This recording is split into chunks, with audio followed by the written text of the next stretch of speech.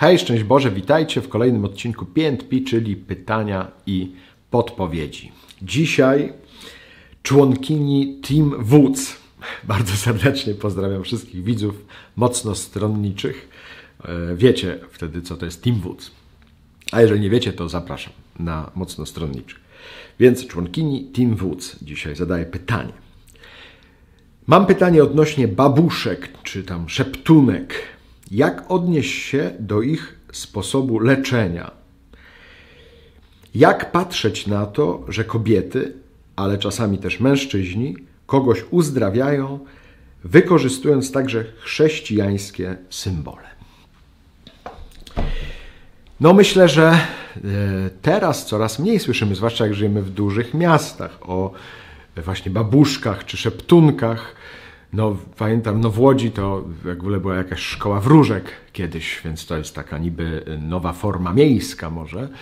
E, chociaż e, z tymi sprawami mamy do czynienia od zawsze. Czytamy Biblię, widzimy choćby, że Saul chodzi do takiej wróżki, więc zawsze taki proceder, jeżeli można powiedzieć, preceder, był i y, po prostu mm, zawsze z tym, nazwijmy to te główne nurty y, religijne, miały kłopot. Nie tylko chrześcijaństwo, ale też i, i islam, i buddyzm, i no, gdziekolwiek spojrzeć, że tutaj y, no, ci przedstawiciele duchowieństwa, tak to nazwijmy, zawsze musieli się z tym tematem zmagać. Teraz w ogóle jest y, w naszej kulturze, w różnych filmach, jak oglądam, pojawiają się te szeptunki, czy nie wiem, w Rancho też jest piękna pani, która gra taką właśnie babuszkę, y, bardzo mądrą, czy właśnie w różnych tam o wikingach na przykład filmach, czy coś, że są właśnie tacy czarodzieje, czarodziejki, coś tam, szamani czy inni w Afryce i tak dalej, i tak. To oczywiście zawsze jakoś było, mm, jako taka religijność naturalna, która pokazuje, mm, mm, no właśnie, ja też ze strefy wodza, więc no, to jest szamani też prawda, w, u Indian jak najbardziej. Więc y, mówię o tym, y, bo to zawsze jest taka rzeczywistość, która istnieje. Pamiętam też, ja jestem y, ze Świętokrzyskich, więc też w Świętokrzyskich no, no była y, rzeczywiście taka tradycja, można by powiedzieć, no bo tam pogaństwo kwitło na pewno do XII wieku, a myślę, że jeszcze dłużej by się E, można było doszukać. E, no właśnie kult ognia związany, związany z dymarkami i, i wytapianiem żelaza, prawda? To, to wszystko jakoś tam było, prawda?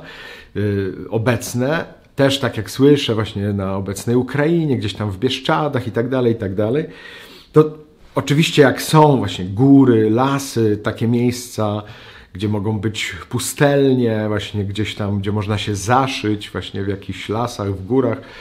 E, to, to są takie miejsca, nazwijmy to, sprzyjające. E, często też tam osiadali właśnie pustelnicy e, chrześcijańscy i też niektórzy jakoś się zmagali z tymi właśnie szamanami, czy jak to zwać. Natomiast do czego zmierzam, bo tak trochę na okrągło E, zmierzam do tego pytania wprost.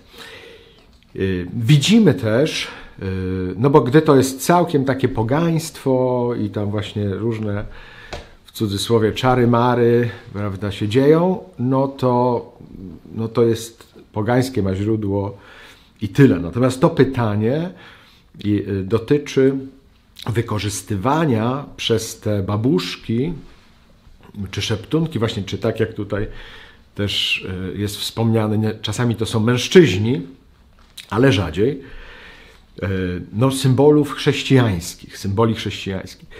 I to jest związane po prostu z kulturą, czyli że mm, taki człowiek, właśnie taka babuszka, wierzy akurat no, na ludzi, którzy są związani z e, chrześcijaństwem, religijnie, że właśnie obraz Matki Bożej, czy Pana Jezusa, Jego serce, no czy nawet krzyż, że, że to dobrze działa, nie?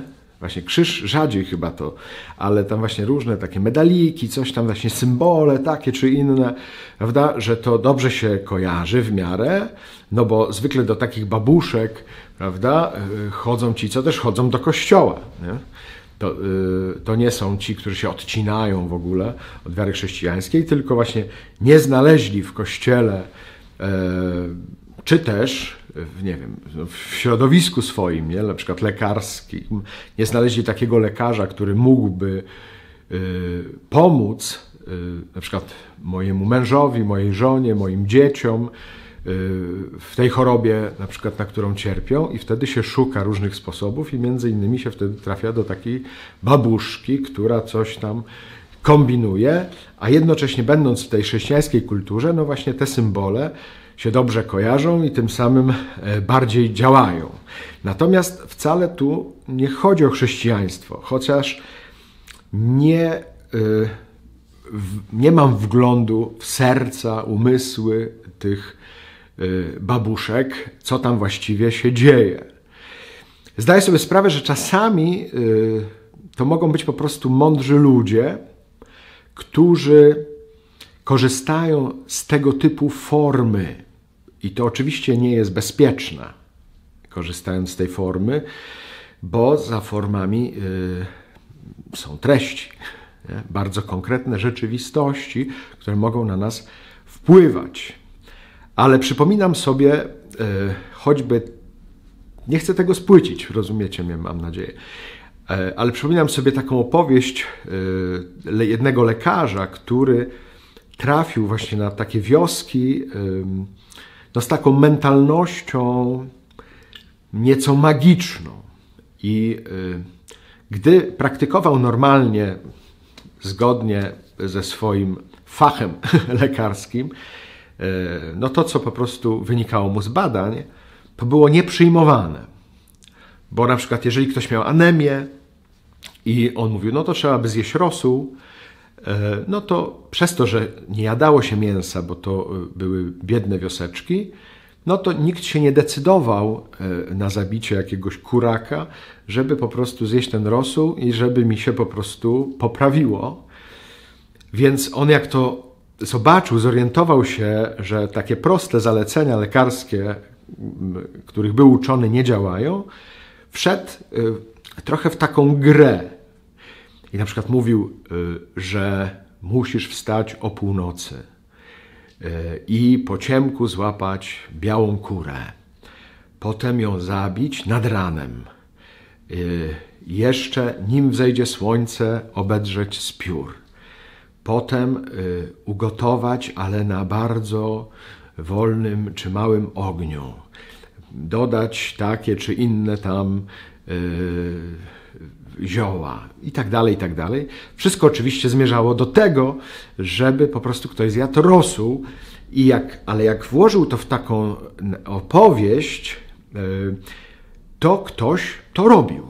A jak powiedział tylko trzeba zjeść rosół, to nie działało. I e, czasami e, myślę, że dużo tego jest w takich, no właśnie, działaniach takich babuszek, że to musi być oparte na pewnej magii, e, takiej właśnie, czy takiej atmosferze magicznej, bajkowej trochę. I tym samym jakby człowiek wtedy jest bardziej skłonny, nie wiem, wierzyć, otwierać się. Właśnie i nawet jakby się przykładowo właśnie dostał e, szklankę wody, e, czy jakieś placebo, mówiąc naukowo bardziej, to to zaczyna jakoś działać, albo dostajesz to, co tam ci jest konkretnie potrzebne, e, no ale w taki właśnie zaowalowany sposób, no to wtedy bardziej to przyjmujesz, łatwiej ci to przyjąć, bardziej w to wierzysz, bardziej za tym idziesz i tak dalej, i tak dalej. A jak tego nie ma, no to jakoś to lekceważymy. Mówię, to może być jakiś wymiar tego. Nie chcę tego lekceważyć, żeby się tu, nie wiem, egzorcyści zaraz nie oburzyli, bo rzeczywiście też spotkałem takie przypadki, e, że takie osoby, choćby już e, tuż przed śmiercią, bardzo szukają kogoś, komu by mogli przekazać coś, a potem biegną do spowiedzi. Mówię o tych, co właśnie używają tych chrześcijańskich symboli, bo wiedzą, że to nie styka. Nie? I niby to jest jakiś tam, nie wiem, duch y, przyjacielski, czy duch rodziny, czy coś tam, to się tak właśnie ubiera w takie słowa, które są y, no, takie nam miłe, życzliwe, no, takie uspokajające też, ale tak naprawdę y, za tym stoi jakaś duchowa rzeczywistość, nad którą nie masz władzy i nad którą nie panujesz. I bardzo często to już mówię o tych, których spotkałem, którzy mają e, czy uczestniczą. Pamiętam jedno spotkanie z jednym człowiekiem, który przejął po swojej babci takie, e, no, takiego ducha, czy takie dary i miał wiele kłopotów. E, dużo więcej jeszcze miała jego rodzina.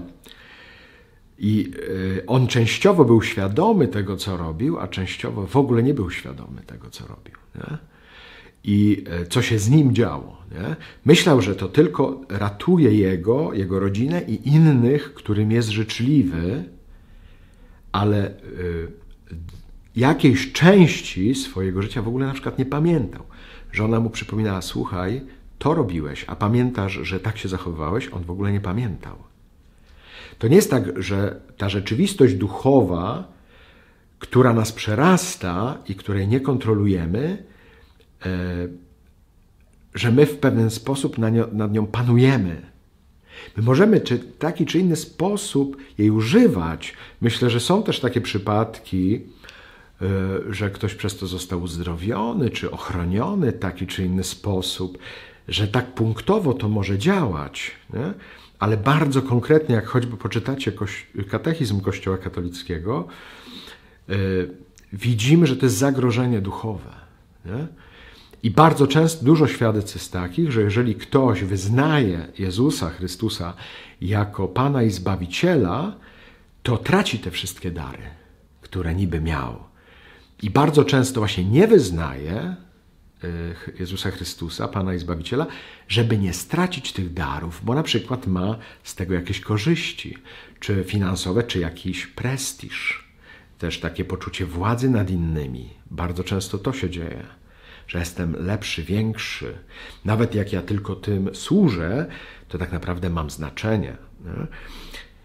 Dużo tu się dzieje takich ludzkich rzeczy, i e, tu demony mogą nas oszukiwać i zwodzić, bo mają taką szansę tak nas oszukiwać, e, tak nam zasłaniać e, prawdziwe, rzeczywiste widzenie, jak to jest, że nam się może nawet wydawać, że my tylko pomagamy, że my tylko służymy.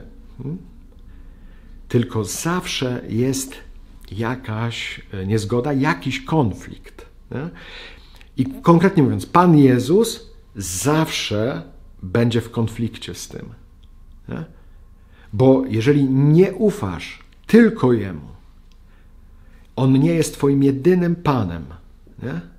to możesz być nawet religijnym, możesz nawet codziennie chodzić do kościoła, możesz być bardzo pobożnym, w sensie spełniać takie czy inne praktyki. Nie wiem, może ktoś mówi różaniec, albo tam, nie wiem, koronki odmawia, albo coś takiego, ale jednocześnie nie przyjmuje Jezusa jako jedynego Pana i Zbawiciela, tylko, no tak jak to się mówi, Panu Bogu świeczkę, diabłu ogarek, to jest takie pogaństwo w tym sensie, że aha, przyjmuję też tę drogę chrześcijańską, ale nie jako jedyną, tylko to, co mi pasuje w tych praktykach też robię, co mi się podoba. Może mi się podoba śpiewanie, może mi się podoba yy, cisza, Y, właśnie jakaś taka modlitewna, y, no, różne rzeczy. I tylko, że to jest religijność zewnętrzna cały czas. To znaczy, ode mnie zależy, tu ja jestem Panem, tu ja decyduję. A jednocześnie, jak ja jestem Panem i ja decyduję, powiedzmy sobie to jasno, to nie jestem Panem. To nie decyduję, tylko ktoś inny mną rządzi. Jeżeli to nie jest Pan Jezus, to to jest inna siła, nie? która jest mocniejsza ode mnie, nie? Bo jest siłą duchową. Bardzo to jest niebezpieczna droga. Hmm? Mówię to, bo spotkałem takich ludzi, y, te właśnie babuszki, szeptunki, albo właśnie tych, którzy korzystali y, z ich usług. Nie jest to czysta sprawa. Nie jest to chrześcijaństwo, nie jest to y, bycie synem, córką dobrego ojca, nie jest to Boże synostwo, nie jest to Boże dziedzictwo. To nie jest ta ścieżka, uwierzcie mi. Nie? I nie dajcie się zwodzić. Nie mówisz od razu, diabeł tu, opętanie, coś. Nie, nie od razu, nie zawsze. Ale zawsze trzeba brać uwagę, pod uwagę takie ryzyko. Nie? chcę też na koniec już tego spłycić, ale pamiętam jeden z przeorów, proboszczów y, w naszym klasztorze. Y, zaraz jak powstała taka nowa parafia dominikańska w jednym mieście, y, dowiedział się, że na terenie tej parafii działa wróżka. I pamiętam, jak no, opowiem to tak groteskowo, chociaż czasami nie jest to wcale śmieszne. Ale tu mnie, przyznam, rozbawiło, w ogłoszeniach parafialnych powiedział wszystko, co miał do powiedzenia, a na końcu mówi ten właśnie dominikanin, przeor proboszcz. A, jeszcze jedna rzecz. Na terenie naszej parafii działa wróżka. Byłem wczoraj u niej, słaba jest. Nie zachęcam do chodzenia przez to do wróżek, ale. Yy, yy, uważajcie. Uważajcie. E, to raz, ale nade wszystko, może tak skończę. Trzymajcie się e, drogi Pana Jezusa. Jego przyjmujcie, Jemu ufajcie, Jemu wierzcie, za Nim podążaliście. To jest pewna droga. Pewna. Nie? Nawet jak Jego uczniowie, tak jak ja, nie stają na wysokości zadania, i nie umieją ci w taki czy inny sposób usłużyć czy pomóc, dlatego przychodzi ci do głowy, żeby chodzić gdzie indziej, właśnie do jakichś babuszek, szeptunek, czy jak tam zwać, to proszę o wybaczenie dla nas, chrześcijan, którzy nie umiemy przyjąć całego dziedzictwa Pana Boga, a jednocześnie szukajcie na tej drodze. Bardzo Was o to proszę, bardzo Was do tego namawiam i zachęcam. I tak skończmy. Pozdrawiam serdecznie cały team wódz i z Panem Bogiem. Trzymajcie się. Hej!